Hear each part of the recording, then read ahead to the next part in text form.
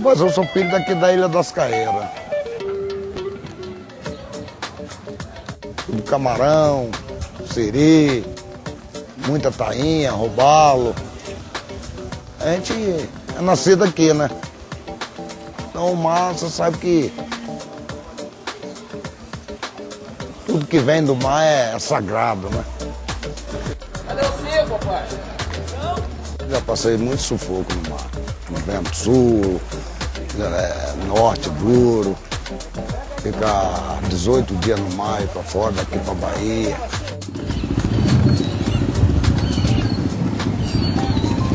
Uma vez eu peguei um peixe, pequenininho assim, quando, quando, quando a noite foi escurecendo, que eu olhei no- na canoa, o peixe não tava mais. Ele- quando eu peguei ele, ele tinha negócio de um, um quilo e meio. Mas lá quando foi escurecendo, ele já tava com uns 10 quilos. É, dentro da canoa. E de repente ele sumiu de dentro da canoa. É verídico. Tá aqui, Rogerinho.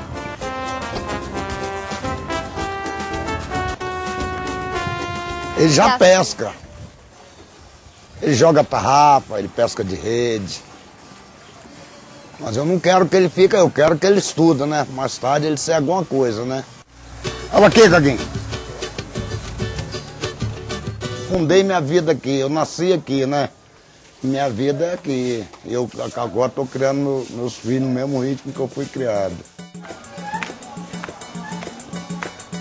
Meu restaurante é aqui, ó, Pirão da Ilha. A muqueca do peixe tem muito segredo, né? Não é qualquer um que tem. Muqueca tem segredo que a gente não pode revelar. Porque se revelar já viu, né? Tá vendo? Essa área aqui é minha. E fui premiado também.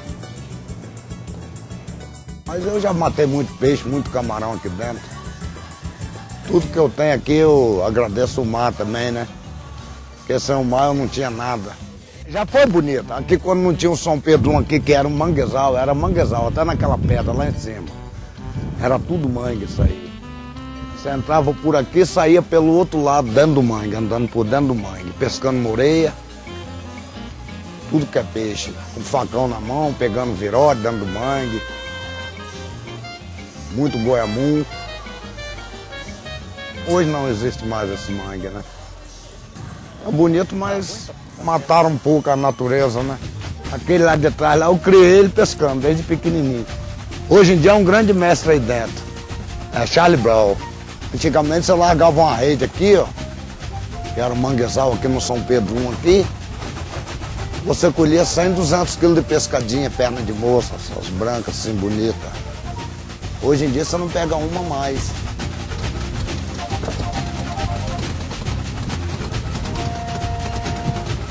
Rapaz, o que marcou a minha vida como pescador foi eu pescando com meu pai. Porque na época tinha muito maruí, inclusive nós estávamos nessa canoa aqui.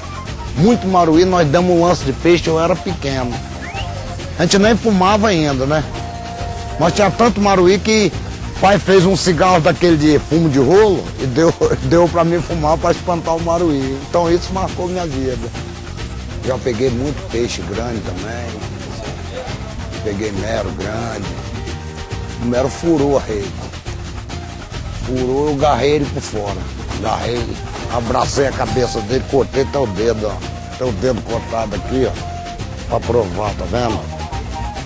Quase pendurou esse dedo meu. Mas eu não larguei ele não. Tem muitas coisas no mar que às vezes a pessoa fala que é mentira, porque o pescador já tem a fama de mentiroso, né? Mas nós já vimos muita coisa, já vimos um navio fantasma no mar. Aí vinha caminhando em cima da gente, a gente colhia a rede, achava fora e ele acompanhava a gente. Quando chegava aqui na boca de caria seca aqui, ele sumia.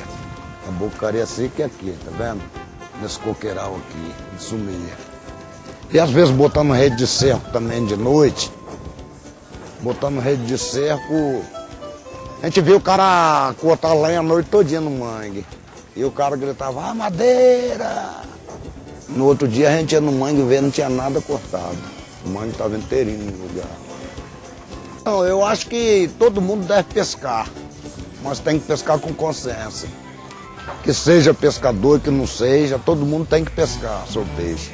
Minha família tá boa, eu tenho três filhos, tenho uma filha já casada, tenho um filho com 17 anos e um com 13, mas todo mundo trabalha comigo.